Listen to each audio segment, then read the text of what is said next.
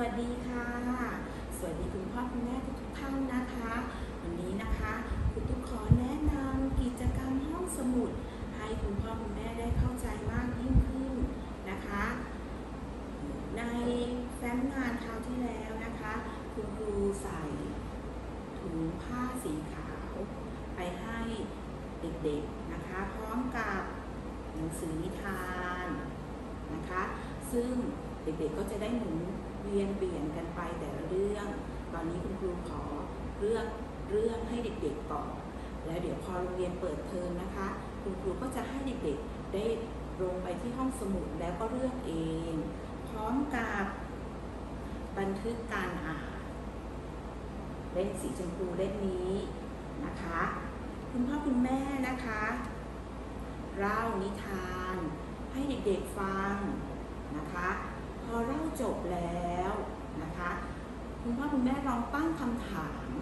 กับเด็กๆเกี่ยวกับเนื้อเรื่องในนิทานนะคะตรงนี้นะคะอ่าคุณพ่อคุณแม่อาจจะวาดรูปถ้าถ้าเด็กๆยังไม่ยอมวาด คุณพ่อคุณแม่ก็วาดให้ได้นะคะ ในช่องสีขาวๆนี้ เป็นตัวละครแล้วก็ตั้งคำถามให้เด็กๆตอบนะคะ